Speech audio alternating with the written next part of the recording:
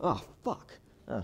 Man, if only I had a device that could tell me if I'm about to walk into a wall without, you know, me having to use my eyes. Hi, my name is Hannibal, and... Oh, fuck. That hurt.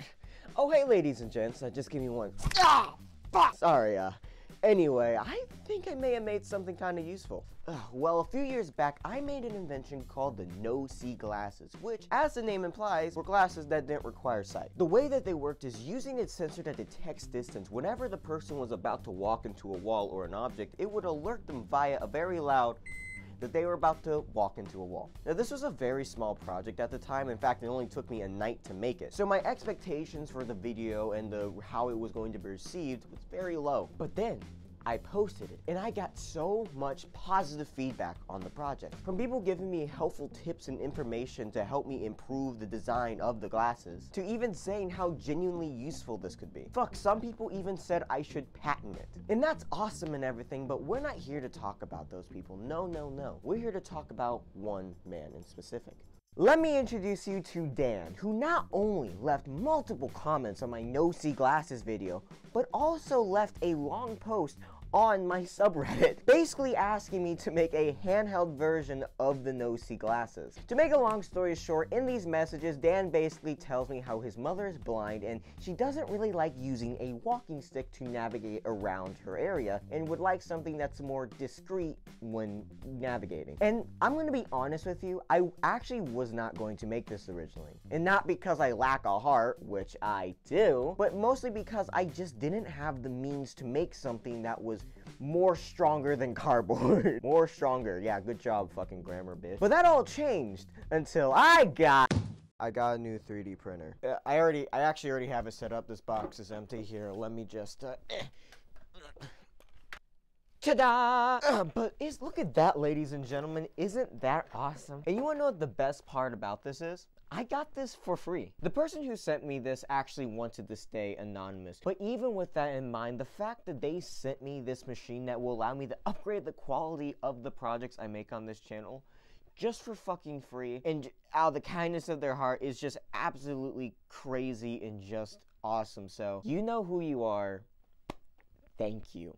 yeah, but um Anyway, I printed this puss hat. I, I, I mean I mean cat. Now this uh now the 3D model for this print actually came with the 3D printer with like a little SD card in it. I printed to see how it would turn out, and honestly, it turned out really nice and sturdy. Like that shit ain't breaking. To be fair, I, I I am not that strong. But with all that in mind, I actually have like a hundred percent confidence that I can use this to make something for the, the project that is more sturdy than fucking cardboard. But I think that's enough of the chit chat it's time to talk about the plan. So let me just. Oh, fuck. Oh, yeah, I think you broke something. Uh, can you, uh... Yeah, yeah. C come on, get over here. Uh, okay, so like I said before, Daniel wants me to make a handheld version of the no-see glasses. Now, for like the outer shell, I'm kind of imagining, you know, like a like a flashlight type design, you know, just uh, well, the whole light part. Where the light would have been, there's actually going to be a distance sensor, which we'll talk about in a minute, where you know where you can actually point around and you get a good sense of where you are at. Unlike the glasses though, this handheld device, whenever you get closer and closer to a wall or an object, it will actually start to vibrate more and more and more. Unlike the glasses, for whenever you got close to something, it would just make a really loud microwave beep. Ooh, I can still hear it ringing. So yeah, with all that being said, let's... Oh, fuck, that's just God, I think I have a bug problem. Oh, sorry about that. Anyway, for the no-see glasses, the main component of it was this ultrasonic sensor. This is a sensor that detects distance using sound, and while it is good, it is not as good as a LiDAR sensor, which is this little doohickey right here. Now, the main differences between these two sensors is this one uses sound, and this one uses light. And if you didn't know, uh, light is a little faster than sound, so that already makes the LiDAR sensor much better than this. Not even mentioning how the LiDAR sensor can detect farther distances than the good old ultrasonic sensor. Anyway, speaking of sensors, Okay, but that's besides the point. I actually made some code and already have it loaded up on this little Arduino right here. So basically, when we plug this in, oh, as you can see, this light starts to beep. Uh, hey, it's uh, future me. Uh, so uh, I forgot to uh, 3D printer noises. I forgot to um show off the code, so um here's that. Uh yeah, don't don't mind the um blanket that's not covering laundry on my couch. Anyway, back to the video. Now, we can't, it's really hard to show this off while sitting down, so uh, here, let me just, uh, sorry. Okay, so basically, as you can see, we have this little doohickey that looks like a bomb in my hand, and if you notice the little light right there, when we get close to any sort of, like, wall or object, it starts to blink a little faster. So, for example, we're just gonna walk a little closer to this wall, and as you can see, it's starting to pick up, and oh my god, it's just on.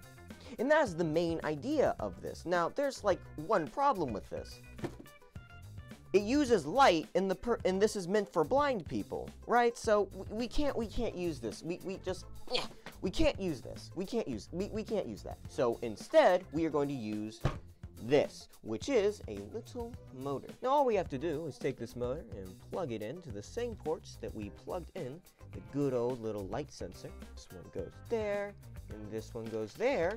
And as you can see, it's starting to vibrate now instead of light up, if you can hear the little vibrations. This is a lot better than using a light because obviously light, it's just you have to be looking at the device to actually tell when you're getting close to this. But with this, you can just feel it and, oh, I'm getting close and, oh, it's vibrating a lot. I'm running into a wall. Oh, oh there, okay. But yeah, as you can see, ah, these are the main electronics for the project. Now it is nice that we have all the electronics working and everything, but there is one, one itsy bitsy problem. I can't give this to Dan because it just looks like absolute horseshit. Like quite literally, it's a, it's a bunch of electronics put onto a piece of cardboard. I think it's now time we break in our new 3D printer and talk about the design. So let me just get out my uh, little, what did he, God, kill me. Uh, hey man, are you? Fuck you.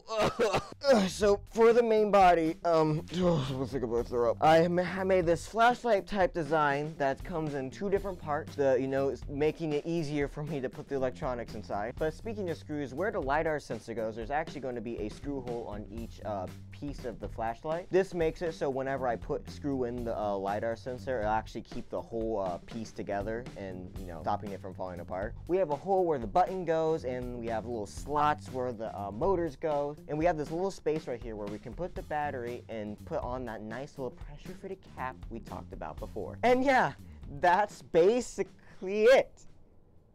Wait, I'm alive. Oh my god, I'm alive, I'm alive. Yeah! Oh shit. Uh, ooh. Did I step on something? Eh, who cares? Okay, uh, welcome back, ladies and gents. Uh, the project is yep, done. I made this nice little case for it, by the way, so I'm going to be sending to Dan. But as you can see, the whole project is nice and put together. And the way I did this was pretty simple. I just took the casing and the electronics, threw them down on my desk, snapped my fingers, and spent the next several weeks putting it putting it together. I won't get into it too deep, but let's just say this was a very uh, fun project to put together. But that's besides the point. It's time for you to see it work, which is Mind the Mess. We turn it on. And as you can see, or hopefully hear, it making it's making a nice little buzz. Now, with this, what we can do is now we'll use this as reference. Uh, mind that my poster's down. We're going to walk closer to it. If you noticed, it's going to start vibrating a bit more and more and more and more until it's on until it's just completely on. But the thing is, I don't need this. I, I can see and I can navigate pretty easily using my eyes. So I think it's now time we send this to Dan so he can give it to his lovely mother. So let's do that. So at this point of the video, I was going to show a footage of Dan's mom using the project, you know, and testing it out and everything. But sadly, Dan's mom did get injured before we could get the footage. And since my video is not as important as somebody's well-being, obviously, I'm just not going to have that segment in this video. I got a lot of footage of it working out, of the project working, you know, like like this, and so at the end of the day, it's really not that big of a deal that we couldn't get uh, the footage for from Dan's mom. What really does matter is Dan's mom's, you know, hopefully speedy recovery. So if y'all could, just, you know, give your best wishes for Dan's mom, right? But, you know, Dan did get the project at the end of the day, and he said it worked and everything. He said it was awesome, you know. cool stuff. So, you know, in the future, we could potentially get footage of Dan's mom using it, you know, when she's recovered and everything. But right now, it really doesn't matter, you know, and so don't expect anything in the future like that. Just think of it as if it does happen, a fun little surprise, but, you know, no promises. I feel like with this, we can kind of summarize that uh, life is a bitch. but, you know, with all that being said, welcome to the end of the video. Now, this project was a lot of fun to do, but, well, at least looking back on, I'll tell you right now, working on that bitch was a fucking nightmare. Though it was challenging, it was really nice to do because, you know, it improved lots of my skills when it came to like soldering and like 3D modeling using the new 3D printer and everything. I forgot all the bad stuff. So yeah, it was fun. I would love, I would like to give my thanks to Dan, the technical sponsor of this video because without him, and I literally mean this, none of this would have been possible because he paid for the, all the parts of the project and he gave the he he gave like the whole idea and premise for the video. Now, I am under no contract or anything in this video, but even with that being said, as a thank you to Dan, please go make sure to check out uh, Decor Wonderland, which is Dan's business. To put it in Dan's own word, they basically sell bathroom mirrors. But no, seriously, they sell mirrors and stuff. So if you are interested in that, you know, go check them out. Links in description. And with those words, I officially became a sellout. Nah, I'm fucking with you. I'm officially a sellout when you see me go Raid Shadow Legends. Hopefully in the future, I can actually mass produce like the LiDAR cane, an improved version of the LiDAR cane, and like the an even more better version of the no see glasses. It's been it's been kind of a goal to like one day like set make a shop for my channel and sell some of the inventions that I have on here. So like the LiDAR cane and OC glasses, got you know other stuff. You know that won't happen for a long time because uh, little secret.